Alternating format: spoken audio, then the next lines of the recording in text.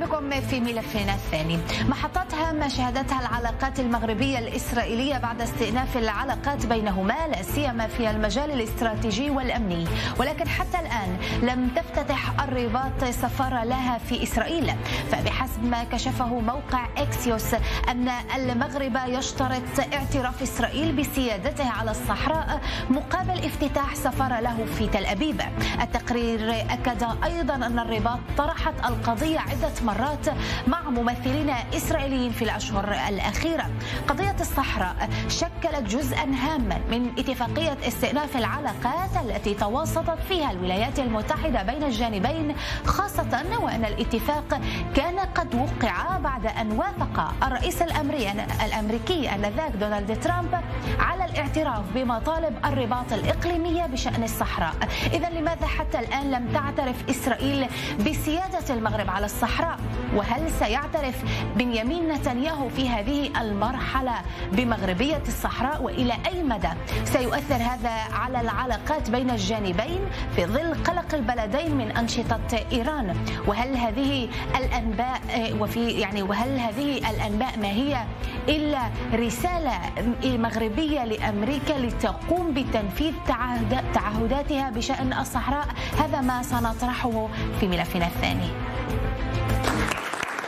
سفارة في تل أبيب مقابل اعتراف رسمي بسيادة المغرب على الصحراء. مصادر مغربية رسمية أفادت لمراسل موقع إكسيوس الأمريكي في إسرائيل بأن الرباط اشترطت على إسرائيل الإقرار بمغربية الصحراء لقاء فتح سفارة في تل أبيب بدل مكتب الاتصال الدبلوماسي. مصادر إسرائيلية صرحت لقناة آي 24 نيوز أن عدم اعتراف إسرائيل بمغربية الصحراء يعود إلى الخشية الإسرائيلية بأن ينعكس الأمر على مواقف الدول الأوروبية من الوجود العسكري الإسرائيلي في الضفة الغربية.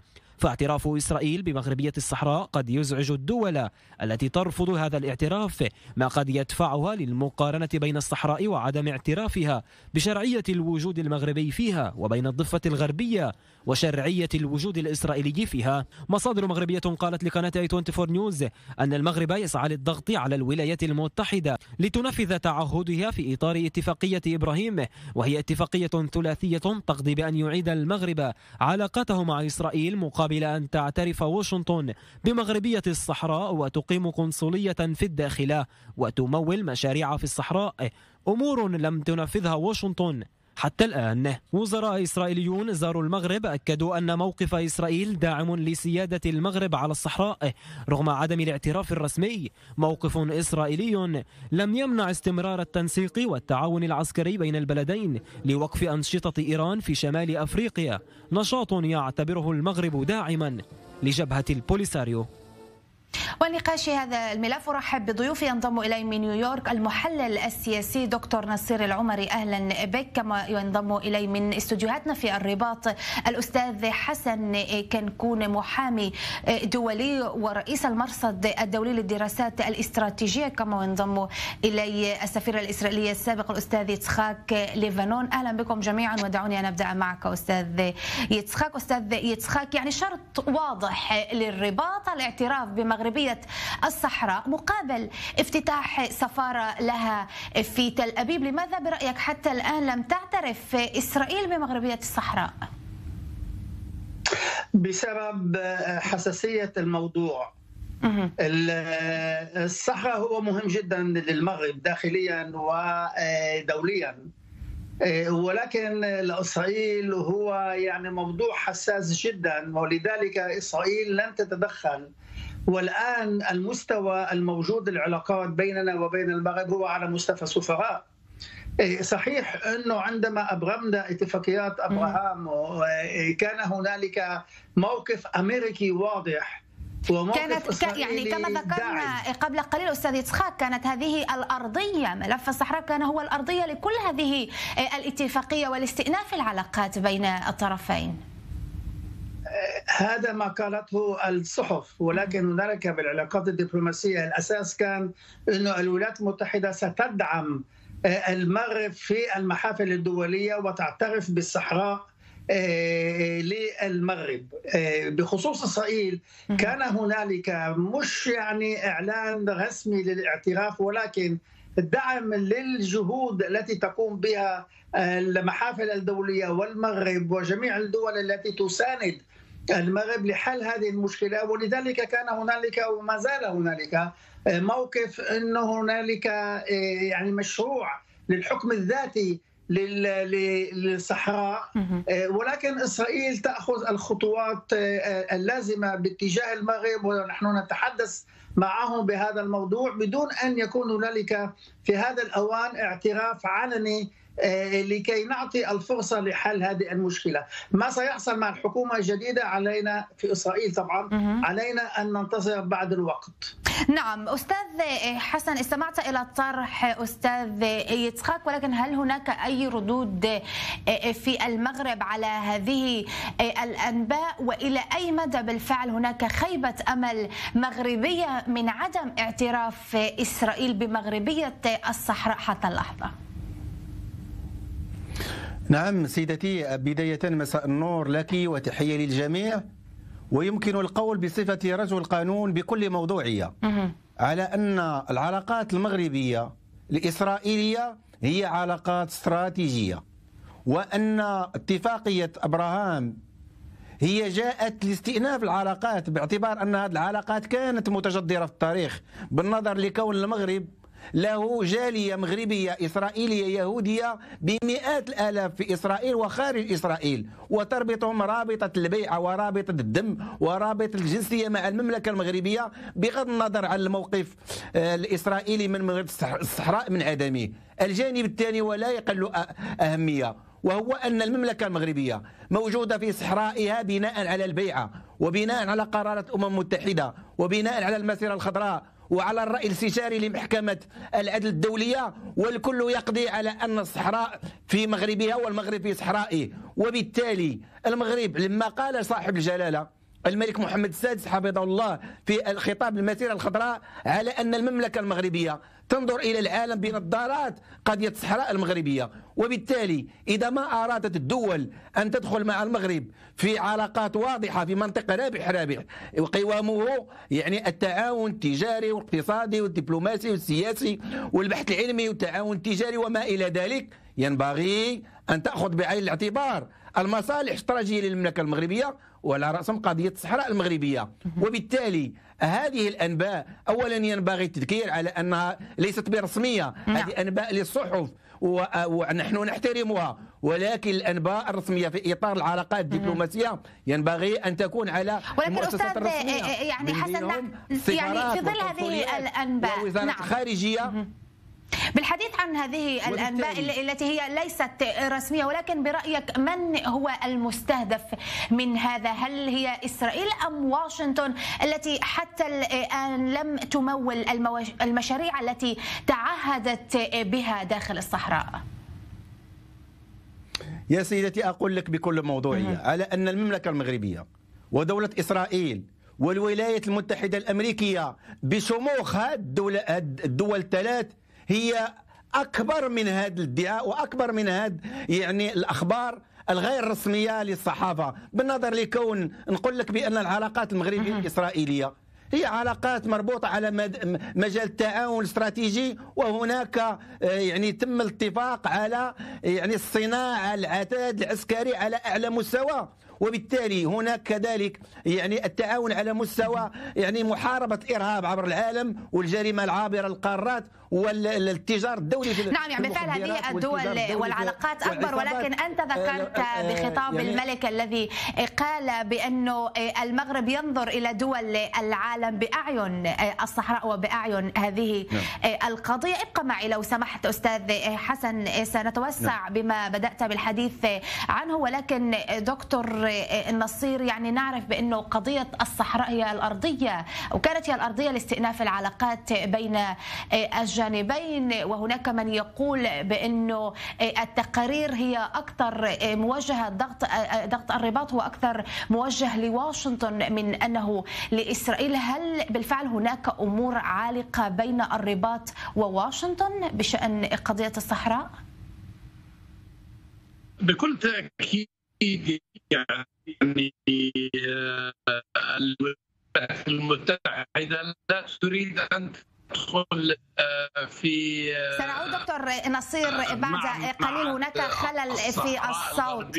دكتور نصير في- سمحت لي سأتوجه أو سأعود الغربية. إليك بعد قليل. أريد أن أعود إلى أستاذ يتسخاك. أستاذ يتسخاك نعلم بأنه يعني بدأت بالحديث عن حساسية الموقف الإسرائيلي من اعتراف اعتراف إسرائيل بمغربية الصحراء. ولكن نعرف بأنه لإيران وإسرائيل عدو مشترك وهو إيران إيران التي تساعد جبهة البوليساريو المتواجدة في الصحراء لا يجب على إسرائيل أن تقوي موقف المملكة المغربية لمحاربة إيران ونفوذها في كل مكان عبر اعترافها المباشر بهذه القضية؟ الجواب هو نعم. وهذا ما نفعله نحن والمغرب بخصوص المناطق المغربية في شمال أفريقيا آه، والتدخل والتغلغل الإيراني ولكن نحن نتحدث ويعني حضرتك تكلمت معي بخصوص العلاقات الثنائية مهم. بخصوص الصحراء المغربية بيننا وبين المغرب إسرائيل اعترفت بأهمية الصحراء للمغرب وهو يعني صحيح. وأنا شخصيا أنا كنت في المغرب وأنا تحدثت مع الأشخاص وهو يعني آه، موضوع حساس ومهم جدا لل- للمغرب نفسه. ولكن هذا شيء يعني داخلي. للمغرب. ونحن اعترفنا بهذه الأهمية. وعلى سبيل المثال آه، السيد لبيد الذي كان وزير الخارجية هو يعني دكتور إسحاق يعني. شأن داخلي ولكن كما ذكر أستاذ حسن بأنه الملك كانت له تصريحات واضحة متعلقة بنظرة المغرب الخارجية بأنه ينظر إلى دول العالم بأعين هذه لا، القضية لورين. نعم. نحن نحن لدينا نحن لدينا آه، تفاهم عميق جدا مع المغرب والعلاقات كما آه، تفضل ضيفك الكريم والجالية المغربية الموجودة في إسرائيل والعلاقات هي يعني منذ آه، أمد بعيد بيننا وبين المغرب وهذا لا يتغير وإسرائيل هي تدعم ذلك ولكن هنالك بعض الأشخاص وبعض المواقف وبعض السياسيات التي علينا أن نأخذها بعين الاعتبار على سبيل المثال. هل إسرائيل تطلب من المغرب الاعتراف بشرعية آه، اسرائيل في الضفة الغربية؟ لا. نحن لا نطلب ذلك لأنه نحن نفهم ما هي الحساسيات. ولكن نحن ندعم ونفهم الأهمية للمغرب. ولذلك اتجهنا مع المغرب والولايات المتحدة عندما الولايات المتحدة هي التي اعترفت بشرعية المغرب على الصحراء. ونحن نتقدم في العلاقات مع المغرب وأنا أظن أنه في الآونة القليلة الآتية سنصل إلى اتصالات وإلى مواقف أكثر يعني ثبوتا بيننا وبين المغرب بأن العلاقات هي علاقات عتيقة وقديمة جدا. نعم أريد أن أعود إلى دكتور نصير الذي بدأنا بالحديث معه عن إذا كانت هناك أمور عالقة بين واشنطن والرباط في هذه المرحلة بشأن قضية الصحراء. تفضل دكتور نصير. يعني آه، بكل تأكيد آه، الولايات المتحدة لا تريد أن تدخل في هذه المعمعة معمعة الصحراء الغربية. آه، لأن العالم كله يحاول أن يتجنب فتح هذا الملف الشائك. وهناك أيضا العلاقات مع الجزائر آه، التي تحاول الولايات المتحدة والأوروبيون الحفاظ عليها. من المعروف بأن محاولات المغرب يعني بجلب إسرائيل وجلب أمريكا إلى الاعتراف بالصحراء الغربية هو موجه ضد الجزائر. والجزائر دولة مهمة خاصة في هذه المرحلة. هي دولة مصدرة للغاز وهي دولة مهمة في مكافحة الإرهاب. فيعني محاولة المغرب جلب يعني يعني إجبار إسرائيل أو الضغط على إسرائيل وأمريكا للحصول على اعتراف هو في الحقيقة سيجلب مشاكل كثيرة في العلاقة الأمريكية الجزائرية. هذا سيقود إلى تكثيف التعاون بين الجزائر وإيران والتعاون بين الجزائر والنظام السوري. ولاحظنا كيف أن الجزائر تصر على عودة إيران وعودة بشار الأسد إلى الجامعة العربية. وهذا البعد خطير جدا يعني. ولكن دكتور نصير البنتاغون يعني وافق آه، منذ آه، يعني منذ بداية أو نهاية هذا العام آه، على ميزانية مناورة الأسد الافريقيه التي شملت هذه المنطقة. نعم منطقة داخل الصحراء وبالقرب من الجزائر. يعني لا سيما أيضا وأن هناك تعاون بالإضافة إلى ما ذكرت هناك تعاون روسي جزائري يزداد ومؤخرا مؤخرا تم عقد صفقة أسلحة ضخمة بين الجانبين. آه نعم محاولة استفزاز الجزائر في هذا الملف. آه، ستخلق مشاكل جديدة لإسرائيل والولايات المتحدة وللمغرب. فلذلك آه، الموقف الأمريكي هو موقف حذر لأن الموقف الأوروبي أصلا موقف حذر من الصحراء الغربية. وهذا الخلاف هو خلاف مغربي جزائري وهذا يعني مسؤول عن يعني المشاكل في شمال أفريقيا والولايات المتحدة تريد علاقة مع الجزائر وتريد علاقة مع المغرب. ولكن المغرب يعني يصر على سياسة التحالفات وخلق تحالفات جديدة في شمال أفريقيا. ومن الواضح يعني بأن الجزائر تتجه إلى روسيا وإلى الحلف الإيراني وإلى بشار الأسد وتدعم تدعم يعني حماس وتدعم آه، هذه الجماعات يعني داخل في فلسطين. فهل تريد إسرائيل أن تلعب هذه اللعبة؟ هل تريد إسرائيل أن تلعب هذه اللعبة يعني لعبة المحاور أم أنها تريد أن تكون علاقة مبنية على الاعتراف المتبادل؟ فهذه يعني الولايات المتحدة تريد علاقه مع المغرب وهناك مناورات آه، يعني ودعم للمغرب من قبل الولايات المتحدة ولكن لا أظن بأنهم س ياخذ جانب المغرب ضد الجزائر. اظن انه هذا ليس في حسابات الولايات المتحدة. نعم. أستاذ حسن تريد التعقيب على ما طرح آه، هنا. ولكن قبل هذا يعني التعاون العسكري بين الجانبين هو تعاون هام جدا. تحدث عن إسرائيل والمغرب، اذا لماذا يصر المغرب على اعتراف إسرائيل بصورة مباشرة بينما التعاون الأمني مستمر في أعلى درجاته؟ وأيضا يساهم في تعزيز أمن المغرب في نهاية المطاف؟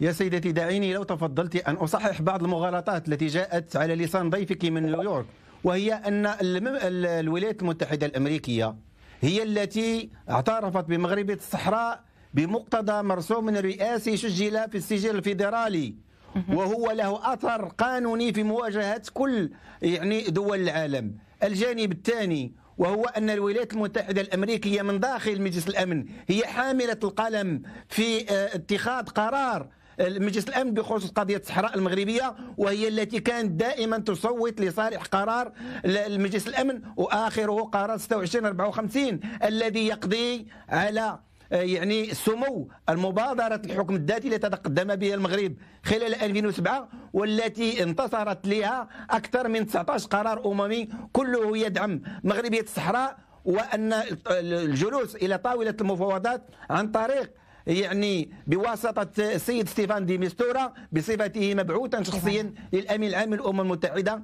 وفق قرار 26 صفر جوج وقرار 26 54 الذي يعتبر بأن مبادرة الحكم الذاتي إنما ينبغي أن تسمو وهي الحل الجدي والمنطقي والقابل للتطبيق.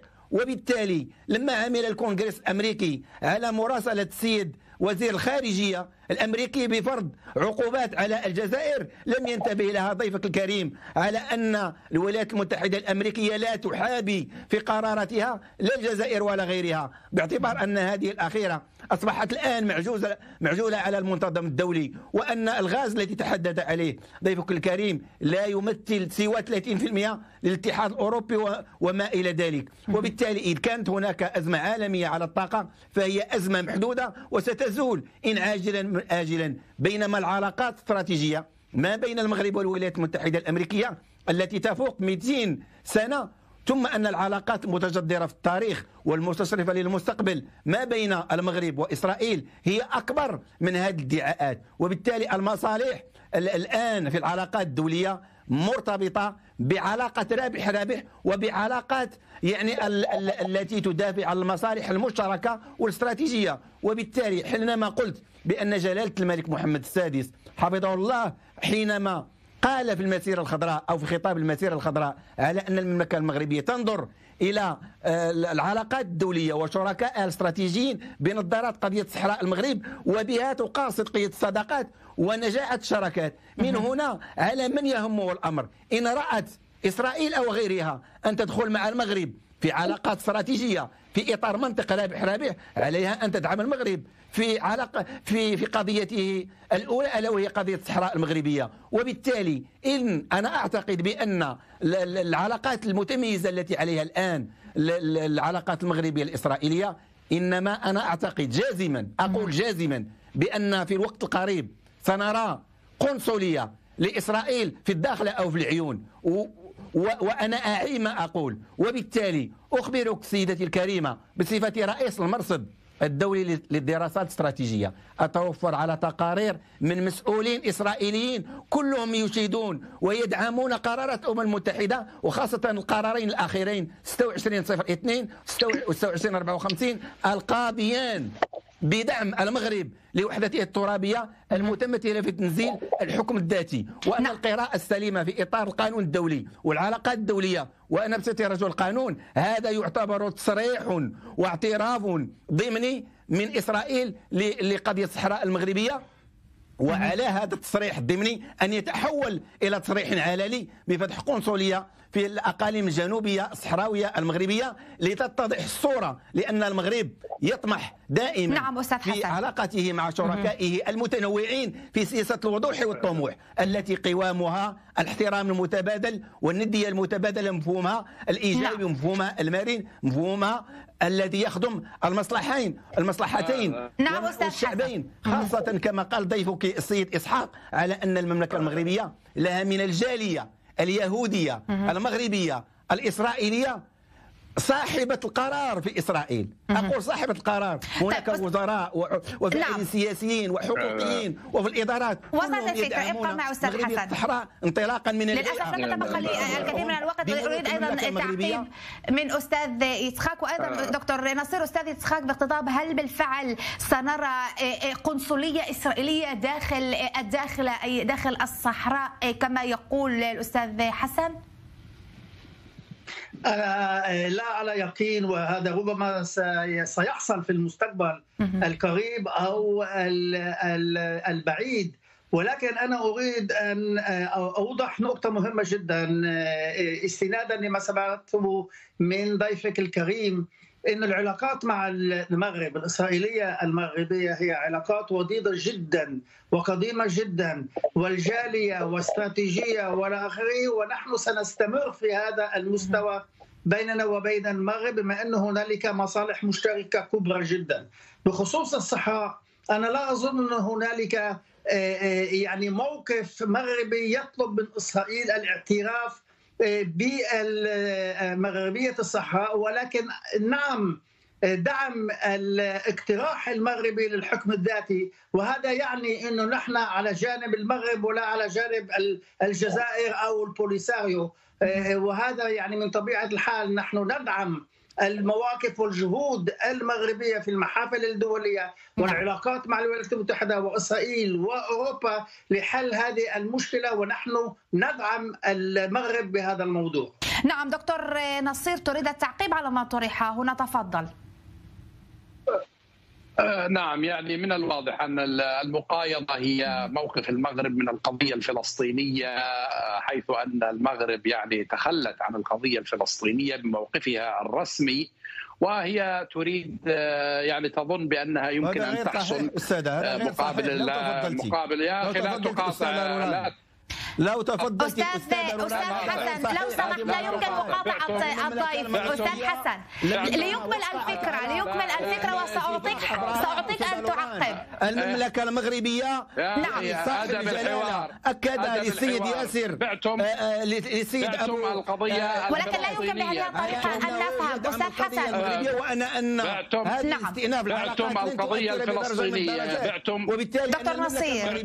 داعت دائما في قيام دولة إسرائيل إلى دولة فلسطين. وعاصمة عاصمتها القدس الشرقية ليعيش الدولتان في سلم لا يمكن بهذه الطريقة لو سمحتما لا لا لا يمكن أن نفهم بهذه الطريقة على قناتكم المحترمة هذه نعم وأنا دكتور نصير وأستاذ حسن لو سمحتما لا يمكن الدولي على أن المملكة المغربية لا يمكن أن نستمر في هذا النقاش لا يمكن أن نستمر في هذا النقاش لو سمحتما أنه نعم. يدعو إلى قيام دولتين هذا الكلام لا يجوز هذا هذا الكلام لا يجوز. يا أخي طيب لا يمكن أن نستمر بهذا الحوار بهذه الطريقة لو سمحتما.